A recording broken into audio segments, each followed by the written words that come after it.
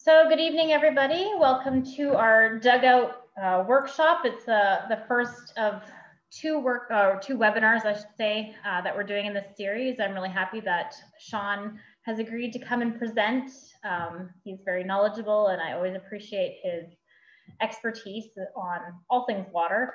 Um, so um, I'm just going to turn it over to Sean.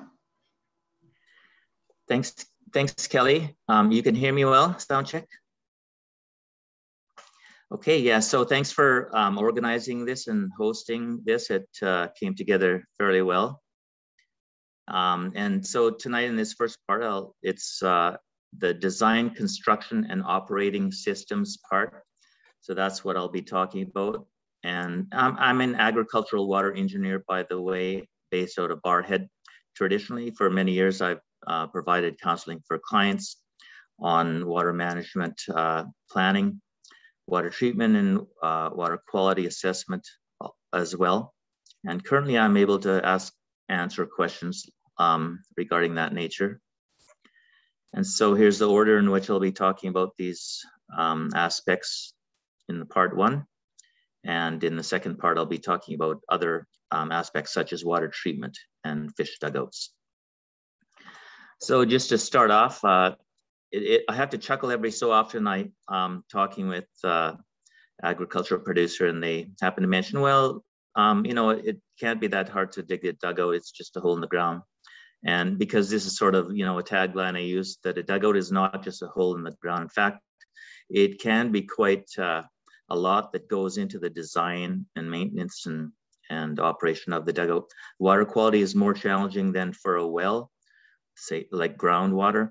Because of the variability, a flock of geese can come and swoop in and leave some parting gifts or wildlife.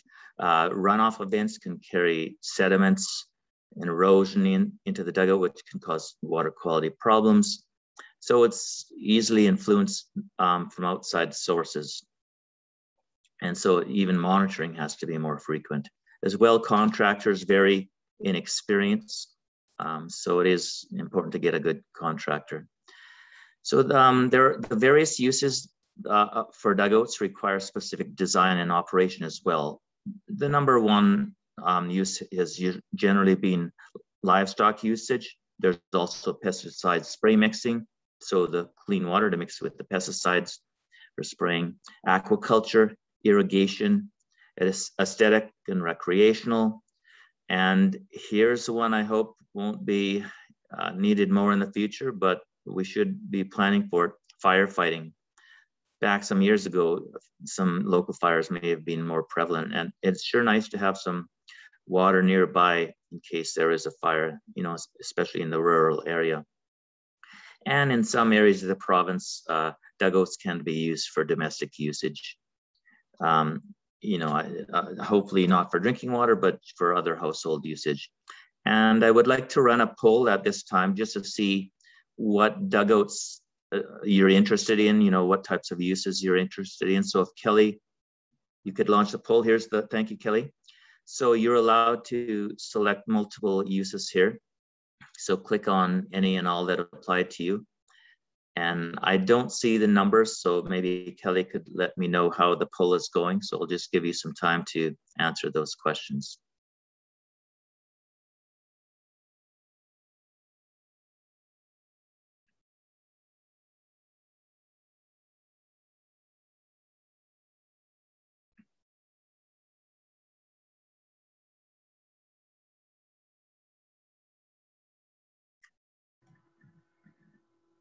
Yeah, just as we we were waiting. When I grew up on the farm, I remember when we had to put a fire out if we were burning grass. We used to do that. Things could get dicey.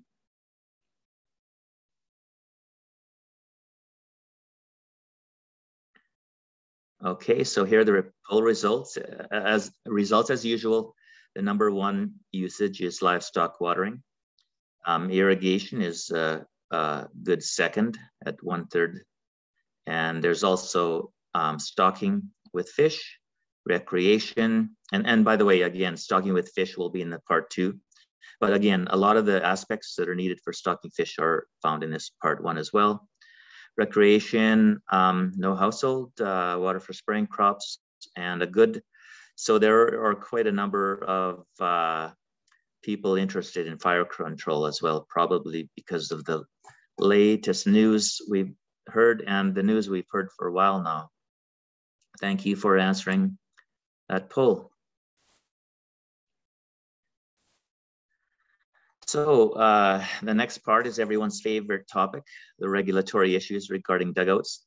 Alberta Environment and Parks, or AEP is the acronym, which I'll use, is the regulatory body for most um, regulatory issues.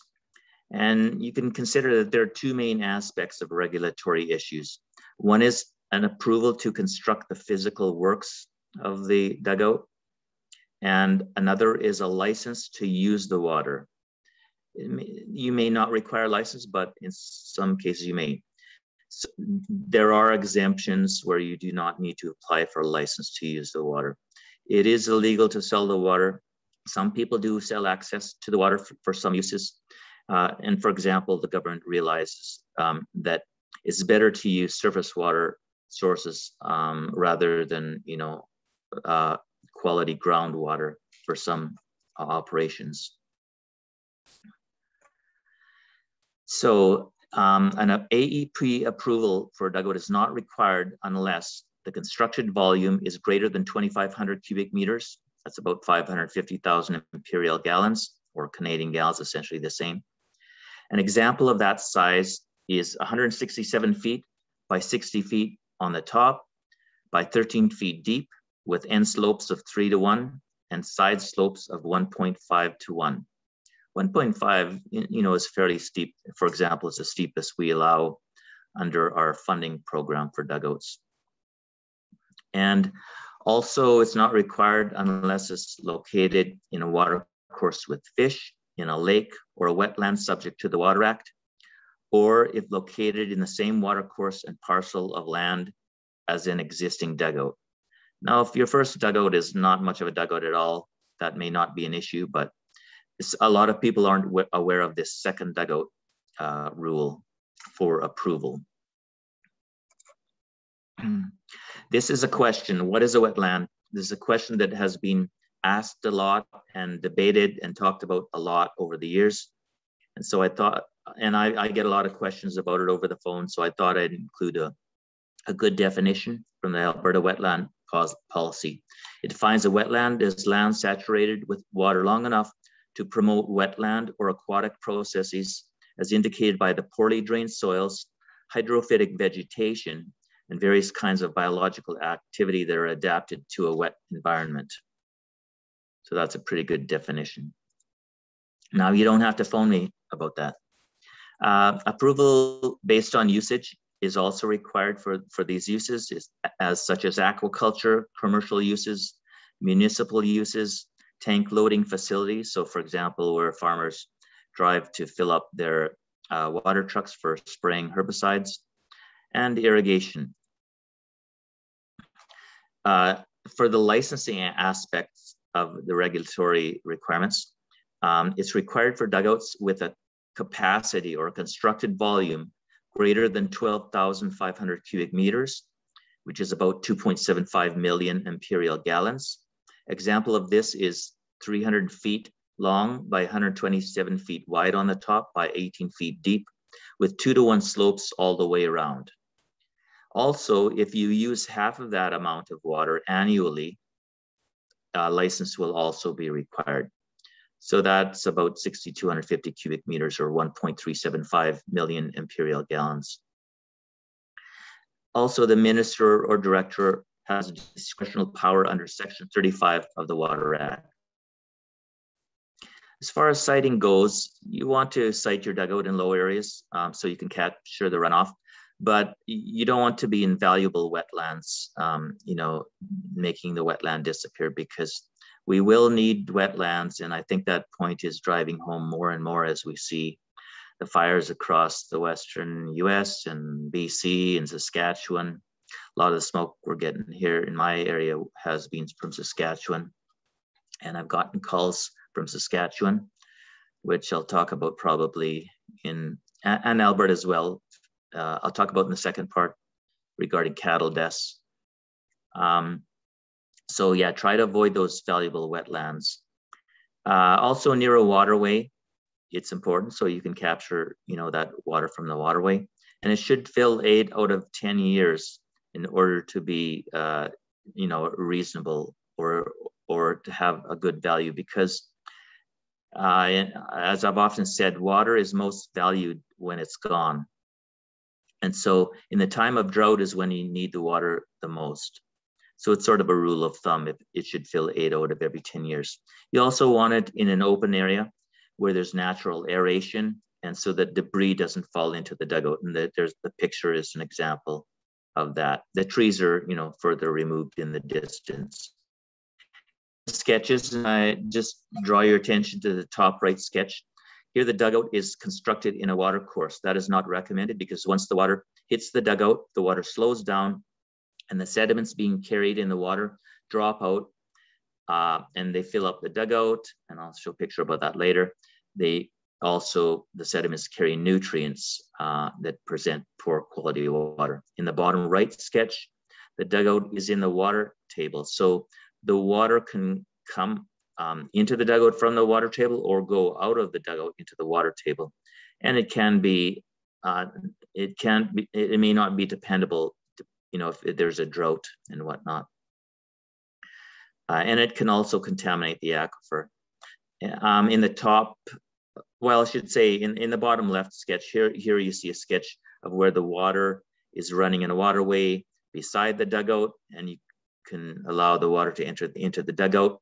And it's the, the water is filtered um, by that grass waterway and it's also filtered by, by the buffer strip that surrounds the dugout um, that you know that so the water can enter it in all around the dugout.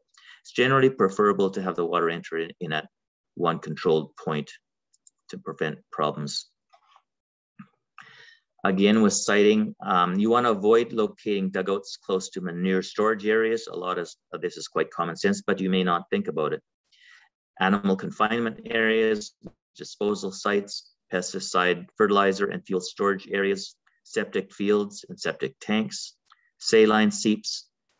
And as far as the trees go, they can, you know, provide leaves, twigs, roots uh, falling into the dugout and, and destabilizing the slopes. Um, so you want to keep the deciduous, deciduous uh, trees 50 meters away and the coniferous 20 meters away. That way you won't get the leaves falling in or maybe some acidity coming from the coniferous trees. And also it allows some wind, natural wind aeration on the dugout as well. Here's some examples of poor siting. Uh, in the bottom left picture, you can see the trees are very close to the dugout. So you, you, can see trees falling in the dugout. There's branches and there has have been leaves falling in. And you can see that water is a dark color. A lot of that is dissolved organic uh, content coming from those trees. Um, so that's what the bullet says, organic matter intrusion. As well, there's poor aeration because of the little wind action. And in the bottom right picture, that you can see there's a yard in the back. Well, you may not see, but there's buildings in the background. There's a yard there and there are nutrients coming from the yard in this example. And you can see the algae growing on the surface of the dugout. As well, it is an odd shape um, of the dugout that um, may you know present some problems. There may be shallower parts that heat up the water more and get more um, you know weed or bloom growth happening in the dugout. And there's also uh, shrubs near the edge of the dugout as well. So for, as far as planning goes, the desired locations you want are a proximity to the water use I mean, if you if your water use is further away, the longer the line you run, you may have a problem with electrical or the water line itself. Uh, as well, you want it to be close to a dependable electrical power supply. There are problems that happen with wiring and batteries. Um, although solar systems have been quite popular, you can have problems with them. Uh, tree stands can be a snow trap, but again, you want to keep them far enough away so they're not a problem for the water quality. And to have it near other water sources is also a bonus case you want to, you know, manage your water some way. If you need to put take some water out of that other dugout and put it in in the one you're using the water from, um, you can do that. And there are other management activities as well that I'll talk about regarding that. As far as the catchment area goes, grass waterways can help filter the sediments out, which carry nutrients. Uh, so you can keep them out of the dugout and on the land. And also the vegetative filter strips that surround the dugout can filter out these sediments as well. And good cropping practices are also important to keep those sediments and nutrients and other contaminants out of the dugout. You also want to have good access for maintenance, repair, and monitoring. That's important. You can also create long-term water management plans to see if you'll have a shortage or surplus during a time of drought. Um, so in these long-term water management plans, you can assess your current farm water supply, your current and future farm water demands. Um, and you, in, in those, you can plan for your expansion and peak use. I don't have a slide on it per se, but I do want to mention that the CAP water program has been open since July 5th, and there is potential funding available uh, for dugouts that meet our specifications. And there are other projects you can view on the cap.alberta.ca site. CAP stands for Canadian Agricultural Partnership. I didn't have it on the presentation because um, previously it, it, our program wasn't open. But be aware that we are facing a limited budget. And the sooner um, you put in your application, the better chances you have of getting funding. There is no promise of funding under this program. And, you know, times have been tight as far as the economy goes. And you can, if you have any questions about the program, you can phone me uh, about it later or, or call 310 farm, that's 310 3276 and ask for a water specialist. So just continuing on with uh, planning, as far as the water needs go, here are some examples of water usage that you would be calculating on a, a water management plan. So for calf pair, have a number of 12 gallons per pair per day for their usage. This is an annual average usage. If you're, you know, watering during the summer, that might not be a bad number even in the summer. You might want to lower it for the winter. If you're just wintering water because they drink less water during the winter. For dairy cows, 30 gallons per day. For sw swine, for lactating sows, just for some examples, six gallons per day. And you should also, you know, think about every water use that you're going to be using for that from that dugout. So spraying water for your crops, fire protection as, I mean, actually this is the highest percentage of on that poll that I've received during all the webinars that I've done. I think it was around 40% of the people said they were interested in fire protection and that can require quite a lot of water. And garden needs as well. Don't forget them. Here's a schematic um, of how to calculate, or, or oh, I'm going to be talking about how to assess a two-year drought supply, and the schematic will sort of give you the idea of what happens over actually a period of, uh, well, two years, and then for the start of the third year. So at the start of the first year, um, I'm I'm not being a little facetious, but let's hope your dugout is full after the spring runoff. Maybe not this year, um, but here, let's say our dugout starts full after at the start of the first year, then we have evaporation loss and then water use for the first year. And that cycle continues for the second year, the evaporation loss and the water use. And then um, there, the calculations that I'm gonna be going over include water tied up in ice at the end of the second year in case you're winter watering. It's not a big part of it. Um, but if you want to, you know, down size the number a little bit for ice loss. If you're summer watering, then you can do that. But so here at the start of the third year, we have the available water. There is some water on the on the bottom that is dead storage, not usable, not palatable. And perhaps some of you have stories like that already. I don't know. So here's an evaporation zone map. And I've included a number of areas around you and to the south of you because uh, producers are allowed to attend I think uh, as far as um, it usually goes from around, you know, a larger area. Since it's a Zoom webinar, you don't have, a, have to travel for it. Most of the uh, places are going to be zone two, this blue zone. It's a contour map. Um, the least evaporative zone is zone one, then the second higher zone two, then goes higher in zone two, then three. Uh, um, sorry, then zone two, then zone three, then, then zone four. And so I'm going to just have a, maybe a short example for zone three as well. So in zone two, where most of the producers will be from this webinar, includes Beaver County, MD Bonnyville, Lamont County, County Smoky Lake, Two Hills, Wainwright, and the north part of the MD of Provost. Um, this is about 4.7 times annual usage for that two-year drought supply. And this is for a 15 feet deep dugout. There are other factors for deeper dugouts that um, I have information for. And this accounts for all these losses that I, I went over.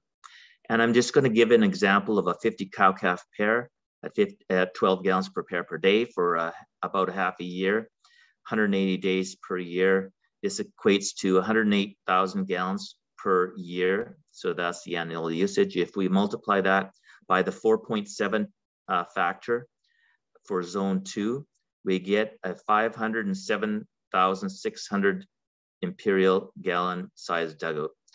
I've often asked producers if they were sitting down before I told them this number because it's it's often larger than they thought they were going to build and a little more costly.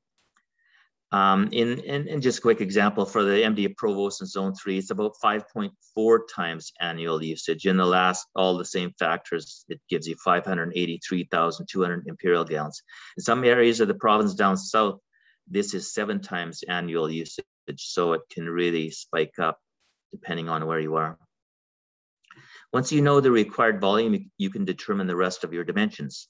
So you have an equation, you have the n number, and you go back and plug in your other variables. So you'll need to de determine some design characteristics of the dugout to calculate all the rest of the dimensions. And there is a calculator on our open government website for it. If you look under decision making tools, uh, it'll be the, under area land volume. It'll be called the dugout lagoon volume calculator. And we should be sending you out a link in a package after the webinars for this tool. It, you can play around with numbers, um, you know, adjust the length or the width if you can, if you only have a certain size area to fit in, maybe you have a narrow strip or narrower strip that you need to fit it in or a wider strip. Um, so you'll want to try to reduce the surface area per volume to reduce the evaporation and weed growth and you know hopefully lend to a better water quality it's not a guarantee but it'll help it somewhat. So a deeper dugout with steeper side slopes is preferred but not too steep so as to prevent sloughing. So i, I often give an example of recommended um, minimum side slopes of 1.5 to 1 so no steeper than 1.5 to 1 and end slopes of 4 to 1 uh, so you know in case of emergency and animal can still get in for a drink of water if you're using it for recreation. Sometimes i give the recommendation of you know if you're fencing off the three sides having one end open uh, so that if the pumping system fails they can get in for a drink of water. And you also protect that. But generally the cattle will prefer drinking from a water trough uh, you know if they have the the choice. And also you should have at least a 10 foot bottom width because when your dugout fills up with sediment, if you do not have a good bottom width, you'll lose depth quite quickly. And depth is important to have. So for this uh, um, MD of Bonnyville area, uh, uh, yeah, for the MD of Bonnyville example, this is a 507,600 imperial gallon dugout, so a little over half a million dugout for the side slopes that I mentioned, 1.5 to 1, and the end slopes of 4 to 1, um, it, and 15 feet deep.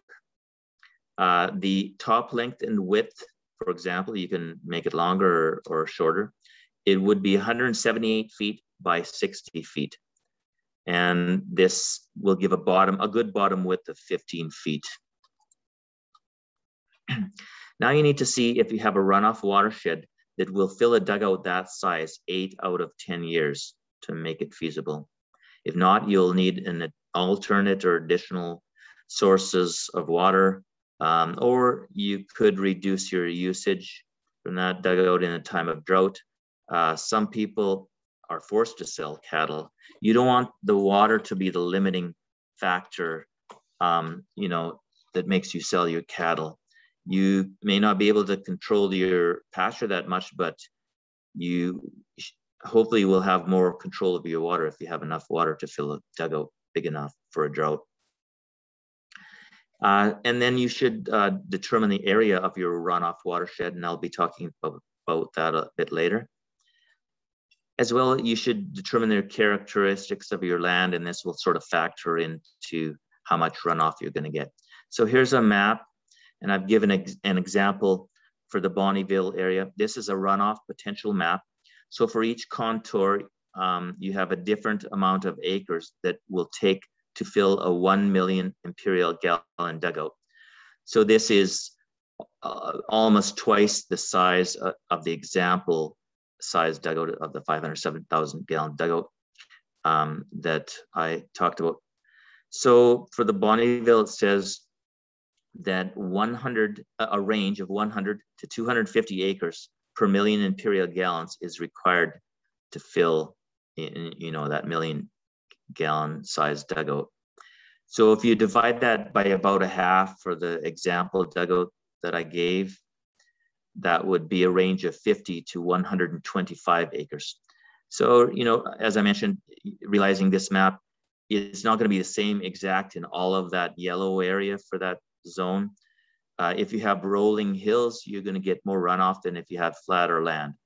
But these contours sort of take a bit into that that into account. They don't take take everything to, into account. They don't take cropping practices into account, for example.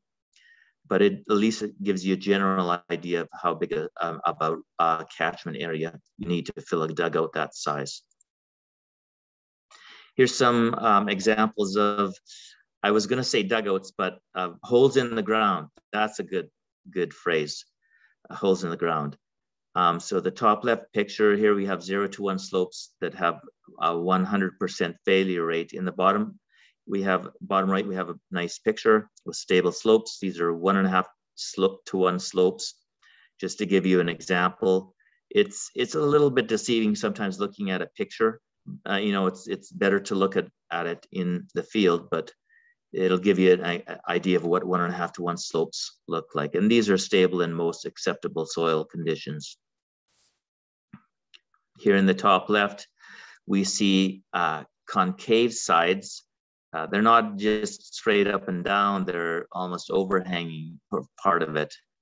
And you've, it's a very shallow dugout. You can see the cracks in the bottom. It's not, not funny, it's true. Um, and you can see boulders on the side. They're putting weight, pushing weight down on those slopes, and they're going to cause the, the sides to fail, which in fact they did very shortly after this hole in the ground was constructed. The bottom right, here's a, a dugout that was uh, constructed either by uh, a bulldozer, crawler tractor, or by a buggy. They generally, you know, have a longer, uh, shallower slopes, a longer uh, length, and so they're pushing. They're coming in one end and pushing out the other. And it, I think this might have been done done by a buggy because this, the side slopes are, you know, somewhat flatter. And a cat could do a little, a little, uh, a little bit uh, straighter slopes or a little bit steeper slopes, but it's a nice looking dugout. You'll want to think about safety. Um, so you should have at least one flatter end slope, if not two, you know, to, so if something falls in, hopefully not a person, uh, uh, they can get out more easily. And you could install a flotation device, you know, if people are going to be in the dugout, and fencing as well. As uh, just continuing with continuing with the design, as far as sedimentation and erosion control goes, uh, I mentioned vegetated vegetative buffers and grass waterways. Uh, ground cover is important. Um, and also you can install geotextile and or riprap to prevent slope degradation. Sometimes in the larger dugouts, you can get a fair amount of wave action as the wind fetches across the water, and that can really erode this, the sides of the dugout. Also, where you have the water coming in, that can erode the side of the dugout as well. So you could prevent, uh, you could protect that with geotextile and riprap to prevent that slope degradation. You should think about a two dugout system. This can be uh, quite valuable. So the first uh, dugout can be the sedimentation dugout where the water first enters into the dugout, the sediments fall out. You can do in situ treatment in that dugout and, and then transfer the clean water into the other dugout. Uh, or if you want to clean one of the dugout, usually, I mean, if in a two dugout system, you're going to have to clean the first dugout a lot more than you would have to clean the second dugout. Um, so if that, if you need to do that, you could pump water out of the first dugout into the second dugout after treatment and then clean that dugout up, dugout out, and then you don't need to waste that water in the first dugout.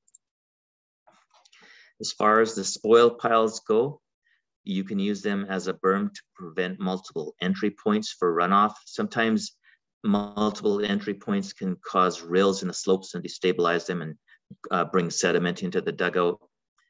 Uh, it also can be uh, used to help protect from wind erosion in these larger dugouts, but they should be removed 15 feet from the edge to prevent, uh, you know, putting pressure on those slopes causing them to slough. You should consider inlets. Uh, so if you have turbid water coming down, or if you have, say, in, in spring runoff, when the water is brown with manure in it, for example, because, because it's not filtered out much by the grass and uh, it's not sinking into the ground as much, then you can shut that flow off uh, and uh, you will need a bypass waterway for this. Um, but then when the water cleans up, you can open up the gate and let that water come in. You may require berms in conjunction with these, and likely you will, in conjunction with these inlets. And you can use, again, you can use a spoil pile to create those berms. I just have a picture of a very simple, just throw together uh, structure here. So we're, but I mean, you can build a better one yourself. This is just a farmer just used uh, some rebar with some plywood. And basically this slows the water down, allowing the sediments to fall out of the water and be strained by um, the vegetation in the grass waterway. And I'm not, I, you know, uh, especially when we were having a lot of runoff and a lot of high flows come at times five years ago in my area and up, up in areas around Bonnyville there as well. Um, a lot of people, I think, could have made use of these weirs. I know I've, I saw it where in the area where I am here, but uh, and often I don't think people think about these weirs so much. So here's sort of an overall picture of a lot of the aspects I've been talking about. Here we have our waterway, our grass waterway coming down. We have a gated culvert allowing flow into the first of the two dugout system where you can do your treatment in. And then we have a culvert uh, where the water can be transferred into the second dugout. Here's an intake. I'll talk about that later, um, where you can pump the water out. And here we have the cattle watering out of the trough here. And this example is a little bit hard to fit in everything on the, the drawing, but normally you wouldn't want it, the water pipe coming from, of coming underneath the waterway, but it's just, it's just for, by way of example. And you have your buffer strips around the dugouts as well. So uh, when you're constructing the dugout, you should really get a soil test done, you want to have a fine grain material, clay, so you don't lose all your water. Uh, if you have coarse grain soils like sands or gravels, you could lose all your water out of the dugout. And I get a lot of calls about that. They didn't realize they were going to hit um, them. If they, sometimes even if you do test holes, you may not find a thinner sand vein.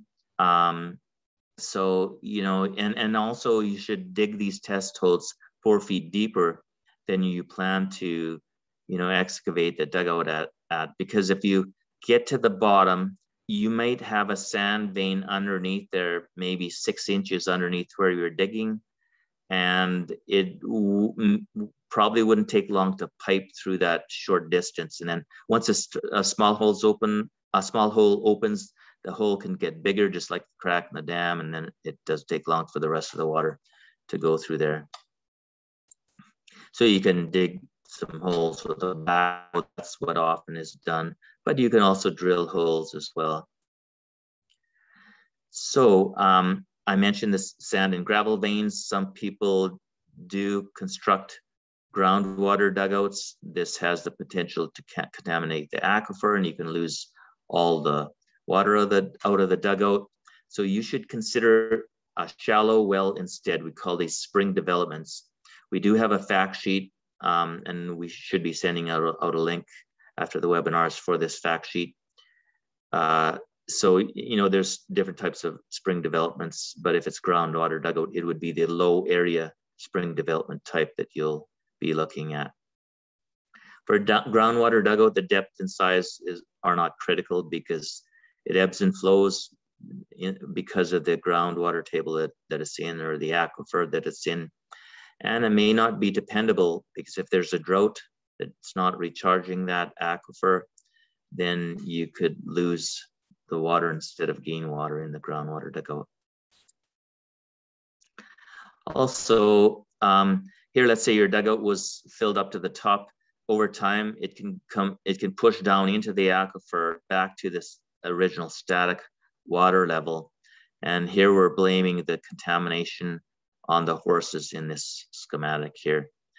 But here you then you're contaminating the aquifer as the if if you have you know poor quality water, if there's manure in there, it can get into the aquifer then. As far as excavating equipment goes, you can use track hoes. These are the most economical, the most popular, the most well-used. Uh, you can get booms reaching over six, uh, 60 foot width of a dugout. Uh, and so you just make sure you select the right size of equipment depending on the size of the dugout you want to build. They're easy to transport. You can also use scrapers and buggies. Uh, scrapers are pulled by a crawler tractor. Buggies are self-propelled. These are fast and you can haul them distances. Uh, you can haul the spoil pile distances if need be. Uh, bulldozers or crawler tractors um, the, they enter just like scrapers do. They enter and exit out ends, uh, and you generally you can do two to one side slopes with these at the steepest, but you can I've seen steeper with uh, crawler tractors. Some operators are better than others, and they can go quicker than others. Others, but generally these do cost more per cubic yard um, of the size of the dugout to construct them, but they do a nice job. I, you know, I, I leave this last bullet on just for nostalgia. Um, it says good in swampy areas, but of course you don't want to be digging in swampy areas. Leave it on as a bit of a. There's an old piece of equipment hanging around. They do have a good reach um, if you're, you know, digging in the width of the dugout, and they can move a lot of dirt. As far as hiring a contractor go goes, you should get multiple quotes you know, sometimes it's hard to uh, find a contractor, but you know, try to plan ahead. You don't want to end up with something you regret. See if you can get a warranty and a written contract. It might be difficult, um, uh, and you might know the person anyway. So, but you know, it's good to know both as the agricultural producer who wants the dugout and the contractor that what will happen if you hit boulders or if you hit sand or if a liner is required what how will the costs you know what will happen to the costs? You, know, you can come to a decision on that then. So you should get an experienced uh, contractor that has a good reputation and sound construction practices. As far as liners go sometimes you have to live with what you have. You may know that you have a sand vein or may find a sand vein and then you may just have to live with it. You may have to line it with something so you can use a clay liner Uh, so if you use clay, um, one and, you should have it a minimum of one and a half feet to three feet thick and pack it well with a sheep's foot packer. Or if you can run over and over again with a, a tractor that has knobby tires. This can be costly, especially if you have to haul the clay from elsewhere. Generally, it wouldn't be recommended if you have to haul it else from elsewhere. You can use plastic liners. The thicker, the better. Holes can be punctured in them. Sometimes the water pressure can come from underneath the liner and displace the liner. In this case, you might be able to construct a cutoff curtain. So if water's seeping into from the side of the dugout, you could construct a vertical trench and put a plywood with plastic in there and backfill it again to help cut that off. That doesn't happen often. Um, and then you can cover it, as you see in the picture, with a bit of sand. Uh, and, uh, and, you know, again, the thicker the liner, you should think about getting a thicker liner than a thinner liner. If you have, you know, if you've realized that your dugout is full and now you're losing dugout, not so much, there might be one spot that you know where you're losing it from.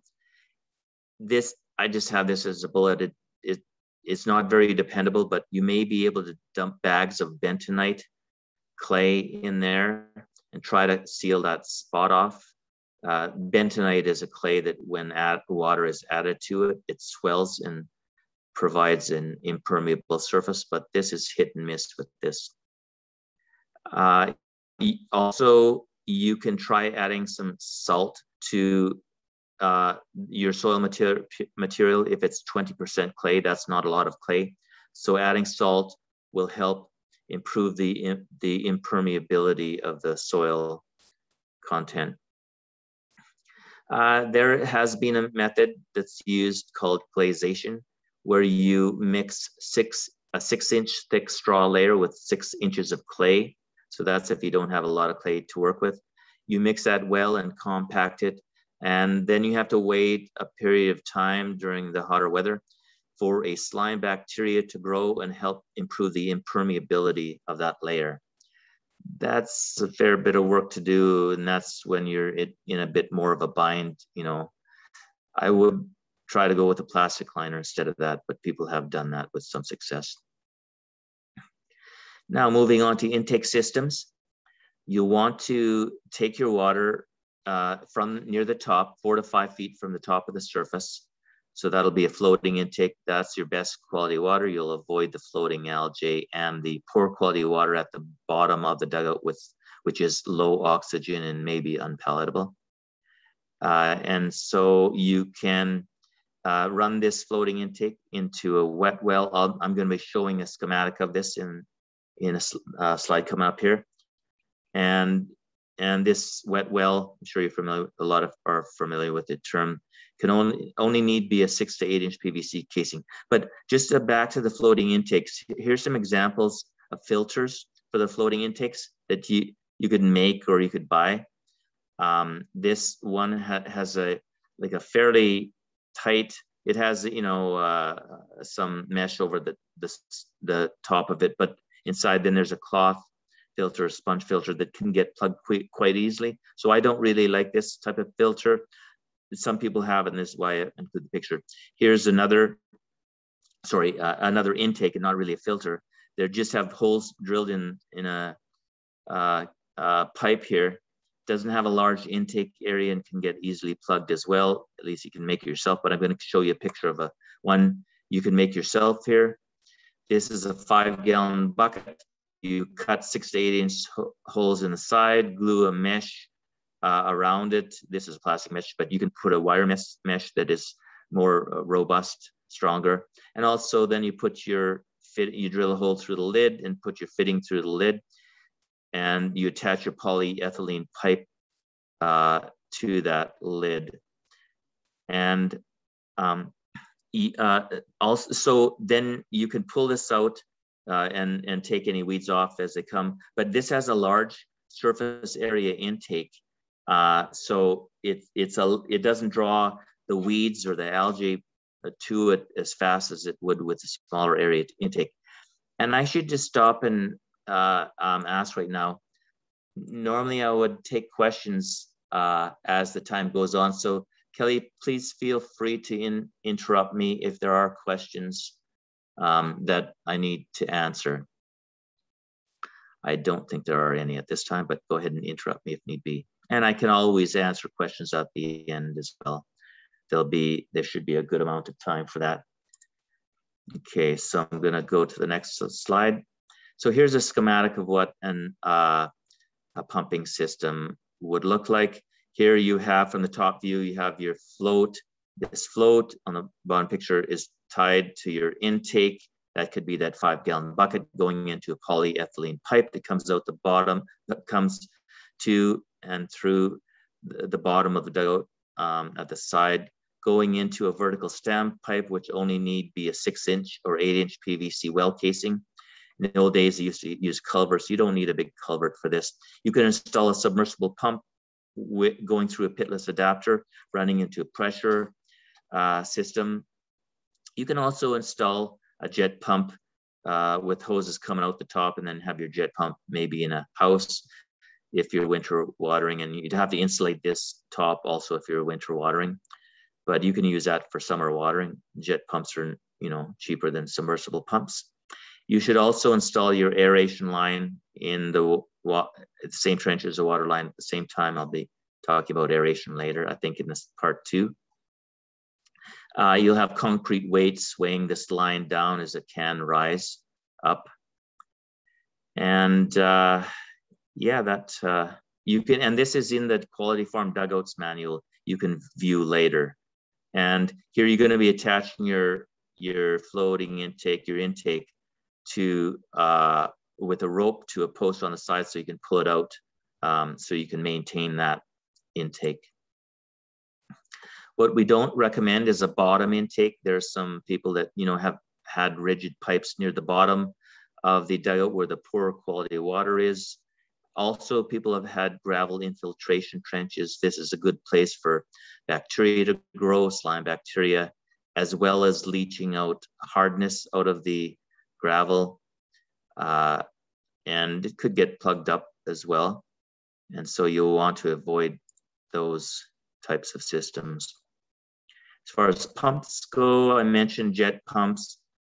You don't need a well, wet well for jet pumps. You can just actually throw an intake over on the surface of the dugout and have your your hose coming on top of the land on, top of the side of the dugout coming into your jet pump.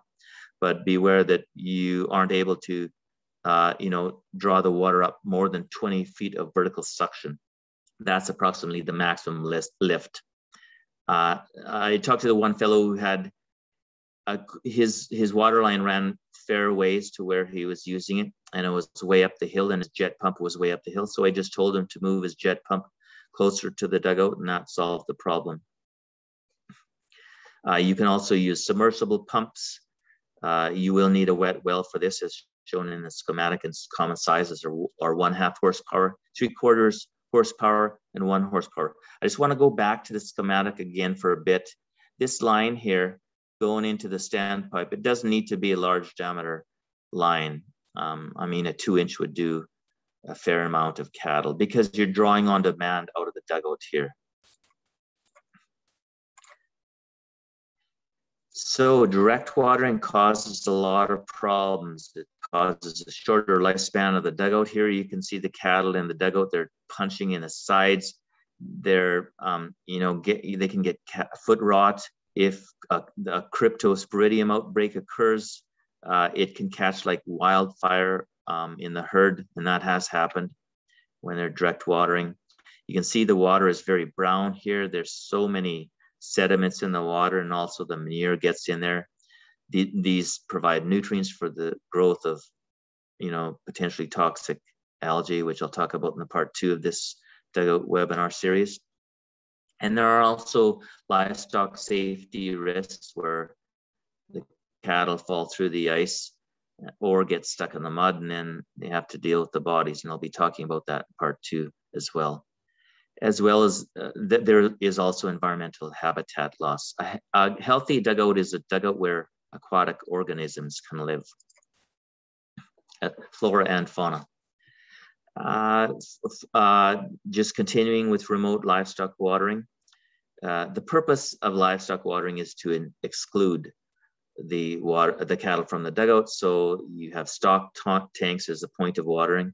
These stock tanks should be in a location where when the rain falls, it's going to wash the manure downstream of the dugout so it doesn't go back into the dugout.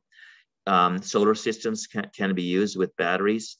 You can also have wind powered systems uh, with batteries, but you would also need large tanks as part of the storage because when the wind doesn't blow for a number of days, you you still need water for your cattle or whatever you're using it for if it's if you need water in, in a timely fashion. You can also use dual solar and wind. That's more costly, but it's it's uh, sort of a good fit together. Nose pumps can also be used. These are pumps where the uh, cattle use their nose to, to move a lever to pump water into a bowl that they can drink and you might have a little runoff for calves um, if there are calves. So some of the water that the cow pumps will run into a smaller bowl where only calves can access it. You can use gravity systems. I've had questions about gravity systems.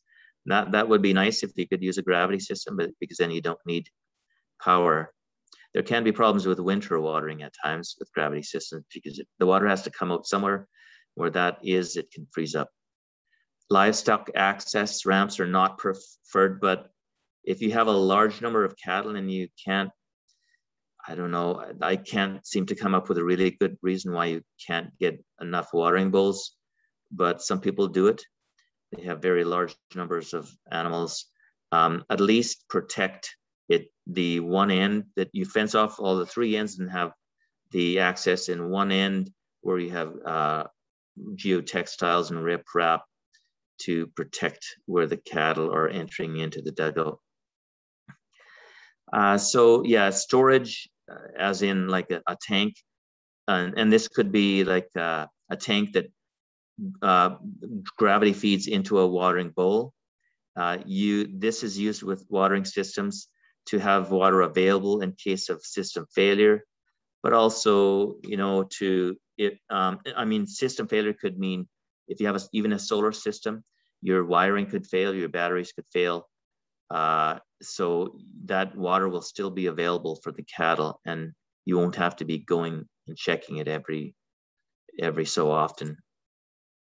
Here's just a simple example of a solar system uh, and the shack for the, for the um, pressure tank if, you, if they have one. And just be aware that you should hide, hide your solar systems not from the sun but from thieves.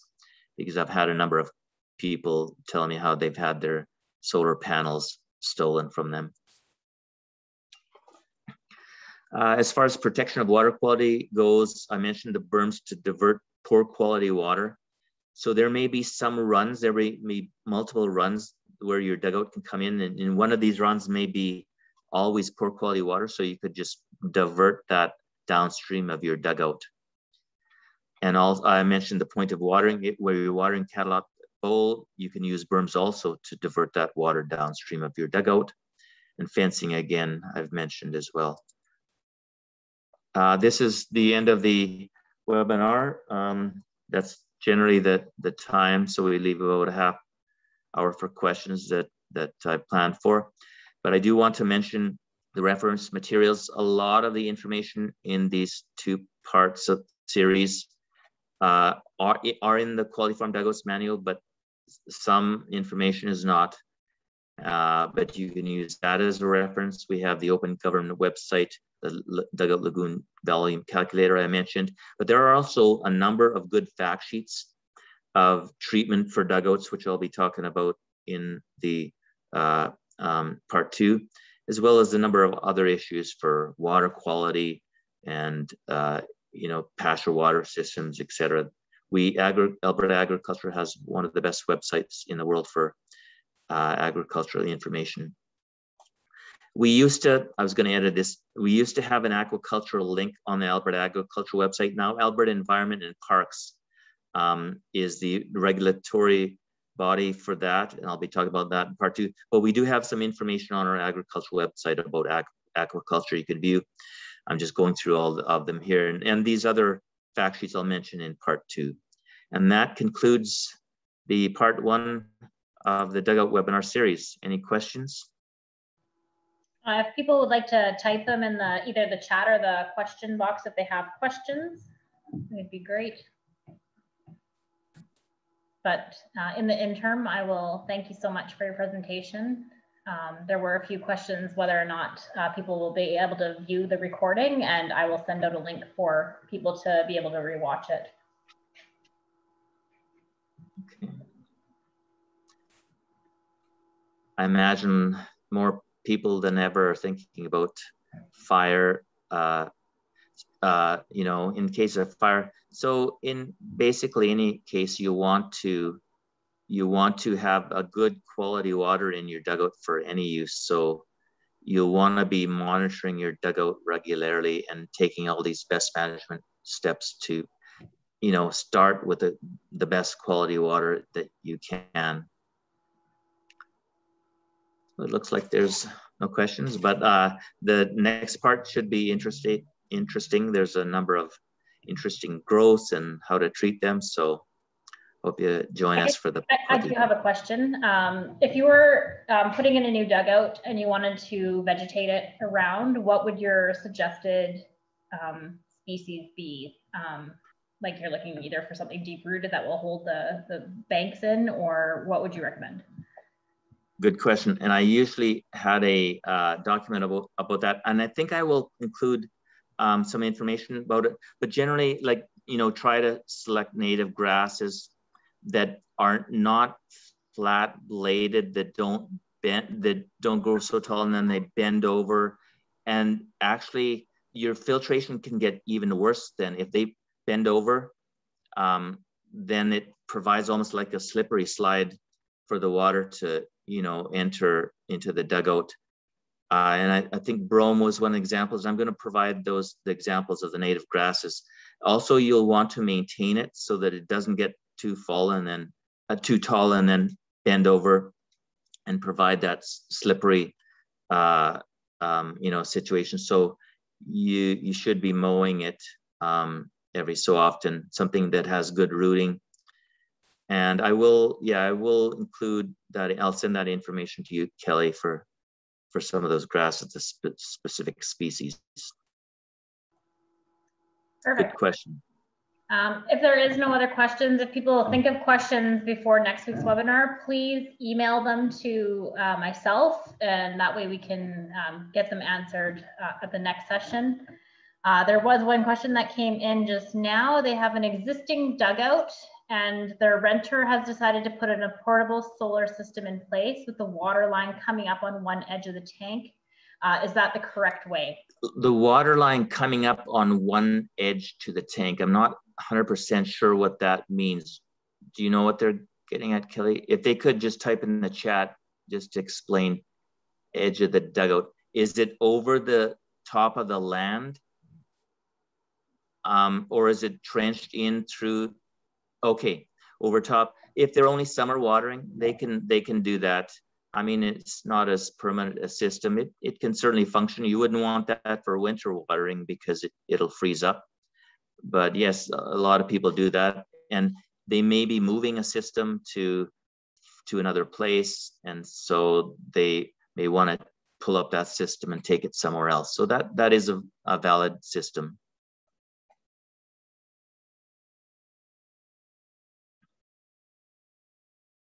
And uh, obviously you'd be using something like a jet pump, not a submersible pump. There's also some algae on the top. Should it be treated? it depends. You may not need to treat the algae. You have to, first of all, identify that. Please uh, attend part two because I will be talking exactly ab about that question there. I'll be going over the different species of algae because there is a number of species and some species are susceptible to some treatments and some are not. Um, so I hope you do attend part two there. And there's another question. Can I just read it, Kelly? Yeah, of course. Okay, what size of dugout qualifies for the government program? So uh, they're referring to the water program, which is the only program available Um, again, that's cap.alberta.ca. We have a funding list that is, uh, it goes over all the details in case you don't write them down here, but 440,000 gallons is the minimum volume. 13 feet deep is the minimum depth.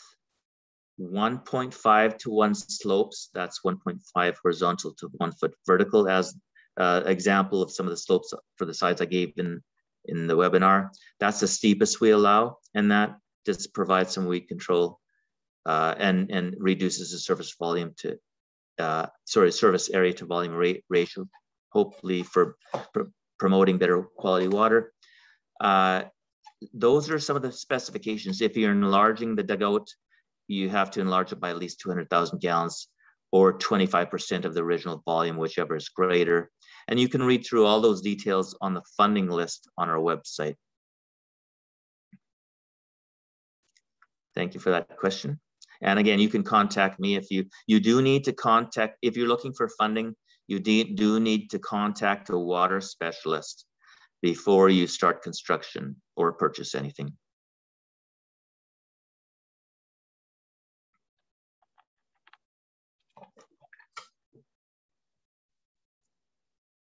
And that is, seems to be the end of the questions. Well, thank you everybody, uh, everybody for coming tonight and uh, joining us. And thank you, Sean, again for your presentation. Um, oh, there was one final question. Um, can it be applied to existing dugouts? So you did talk about dugout expansion. Yeah, dugout expansion, dugout enlargement. You do have to enlarge it by 200,000 gallons or 25% of the original volume, whichever is greater as well as the other parameters like slopes and, depth uh, that I mentioned.